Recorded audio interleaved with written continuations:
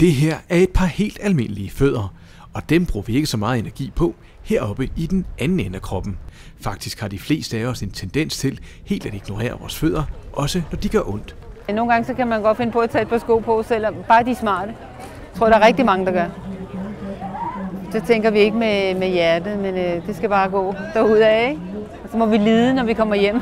Vi har ikke ret meget fokus på det fundament, som vi går rundt på, og som dybest set skal bære os hele vores liv. Det har vi bare en forventning om, at det fungerer bare. En undersøgelse viser, at hver tredje dansker har haft ondt i fødderne inden for den seneste måned, og at hver femte faktisk har så store problemer med fødderne, at de bliver begrænset af det fysisk. Alligevel er det kun knap 10% af dem med ondt i fødderne, der har søgt professionel hjælp hos en fodterapeut.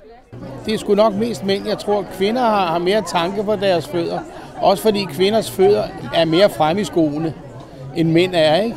Og, og, og mænd, jeg, mænd generelt har nok en anden indstilling til smerte og sådan noget. Så, så jeg tror, der er mange, der går og har klemte fødder.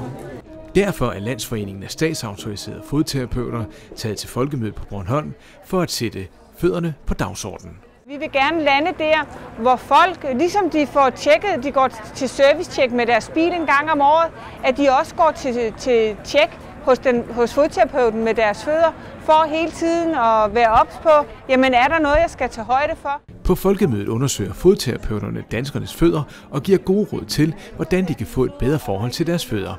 Og det handler ikke bare om at være fri for smerter. Faktisk bliver alvorlige sygdomme, som for eksempel diabetes, ofte opdaget ved fodterapeuten.